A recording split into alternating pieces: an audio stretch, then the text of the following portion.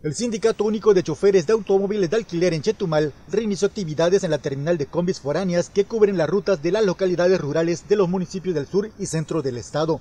Sergio Cetina Valle, secretario general del gremio taxista, subrayó que el servicio se brinda bajo estrictas medidas de sanitización instruidas por el gobierno del estado. Eh, nosotros ya tomamos medidas de seguridad y medidas de salubridad, de higiene, por decir, este, cubrebocas a todos todos los pasajeros que aborden van a tener cubrebocas en las líneas foráneas, este, en la sanitización del permanente del vehículo.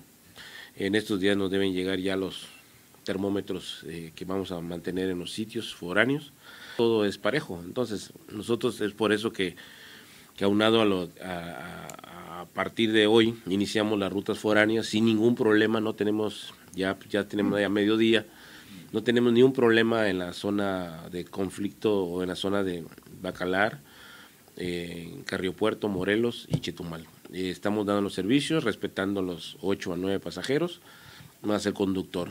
En este sentido, dijo que el sindicato observó que desde hace algún tiempo las empresas ADO y el Mayap, al igual que transportistas piratas, brindaban servicio a los usuarios en dichas rutas, por lo que se solicitó al Instituto de Movilidad de Quintana Roo tomar cartas en el asunto y permitir al Sucha reiniciar actividades.